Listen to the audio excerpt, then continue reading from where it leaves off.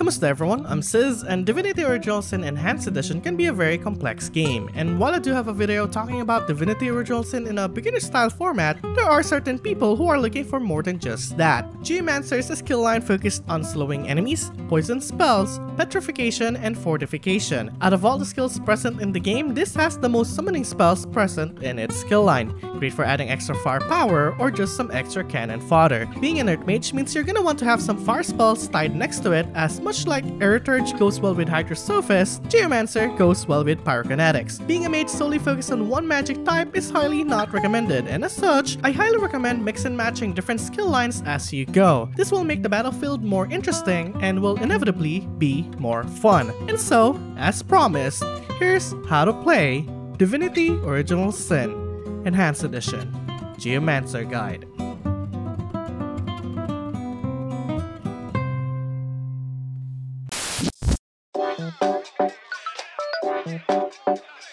Geomancer is a skill line all about earth magic. The skills are focused on oil production, poison disposal, field control, and some occasional buffs and debuffs removal. Like I said, it's usually best with the Pyrokinetic skill line as most if not all earth skills present in the Geomancer line blends and combines well with fire. If you want to focus on summoning companions, buffing allies, and slowing enemies, the Geomancer skill line will be the most effective way to go. Skills unlike talents can be acquired by reading the appropriate skill book with the same name and can be forgotten if need All of them are useful when used in the right circumstance and it's one of the many ways that will set your character apart from each other. There are 16 Geomancer skills present in the game and it's best that you think about this carefully before teaching them into your character. This is because at max ability level, you'll only be able to obtain 6 novice skills, 4 adept skills, and 2 master skills. It's a weird limitation, but just enough to give it a sense of carefulness. And in true how to play style, I'll be going over them one by one, starting with the name, what it does, and what I think about it. Let's begin. Avatar of Poison enchants self or an ally with a poison shield. Enemies who attack someone with this buff has a chance of being poisoned as a result. It's your standard avatar spell. It works the same way as all other avatar spells, but with poison. Use this on your melee characters as they will be on the front lines during combat. Bless. Bless a target. Removes curse.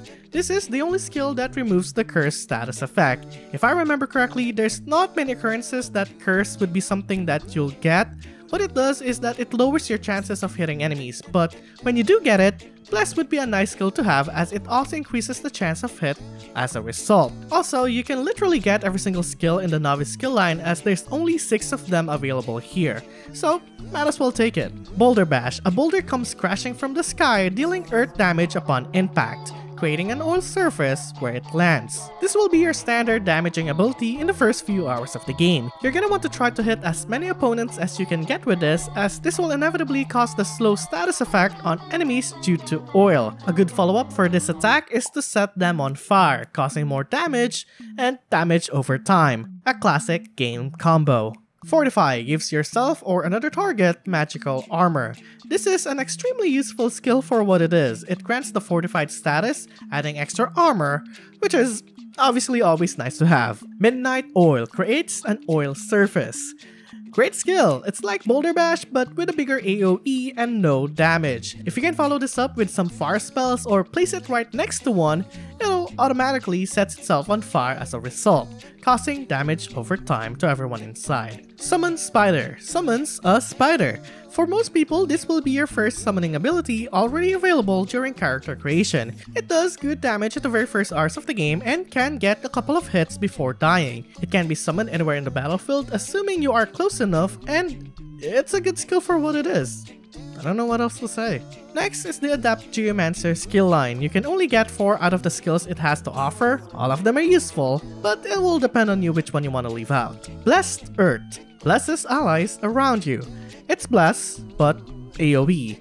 Very self-explanatory, it does the same thing as Bless but with multiple people. Great skill if you miss a lot. Is it something you'll want to spend points on as opposed to the other Adept skills? I mostly definitely think so. Missing an attack is really not what you want in this game. If you miss one, that's a waste of turn. Not something you want, and it's gonna bite you in the butt later on. Earth Absorption Shield enchants self or an ally with an Earth Shield. An Earth Shield absorbs Earth damage until it ultimately breaks. It's an absorption shield. It defends you against earth damage and earth damage alone. It will break after some time and with enough damage, so keep that in mind if you are gonna use this skill. Which I won't, because it's very situational. Get something else more useful, which is Magical Poison Dart. Cast a magical poison dart that does poison damage. This is the first out of the two damaging abilities that you're gonna want to have on the Adept line. It does exactly as what it says it does and it causes the poison status effect, which is much like burning, is a damage over time spell. A good skill to have and it also explodes, explodes, it also explodes with fire, causing more damage. What's more to love? Petrifying Touch turns the nearby enemy to stone dealing earth damage. Despite you having to be right next to the enemy you want to use this on, it's a good skill to have in certain situations. Other than that, it's alright. If you want to take this, it's completely up to you. I suggest taking this or Summon Wolf. Summons a wolf.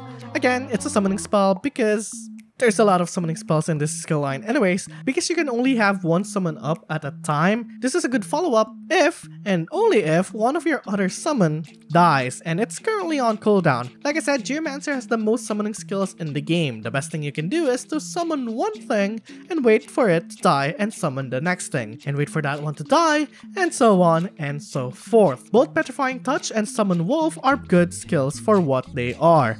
Pick the one that goes well with your build. I speak very fast. Wonder if they can understand this.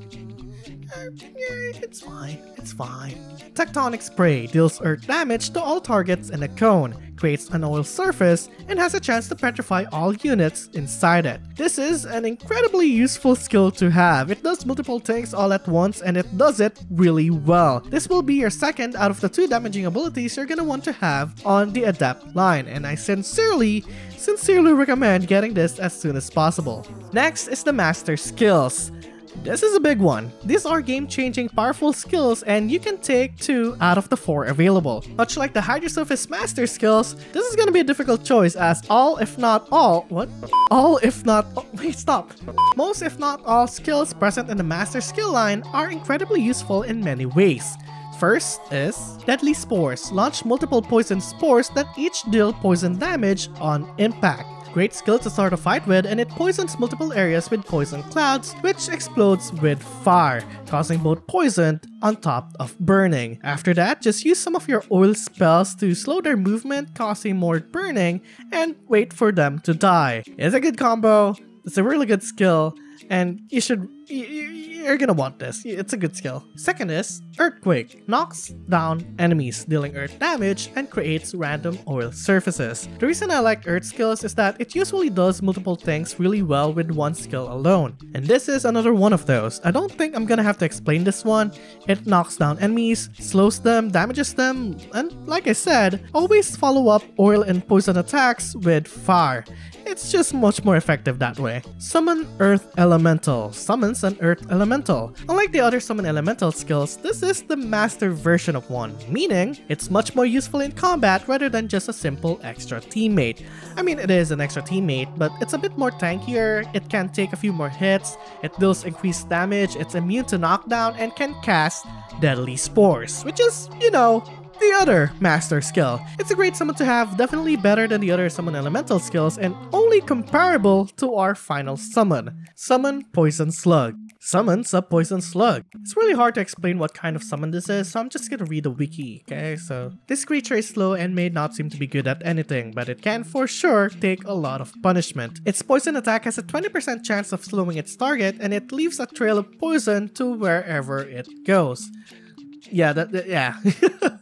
It can cast a poison projectile on enemies and is, of course, immune to poison. It'll be weird if it wasn't. Unlike the Earth Elemental, this is mostly used as a frontline tank rather than an extra source of damage. It does die, obviously, but it will take a while for it to do so. I personally love the Earth Elemental more, but that's the beauty of an RPG. It ultimately depends on you.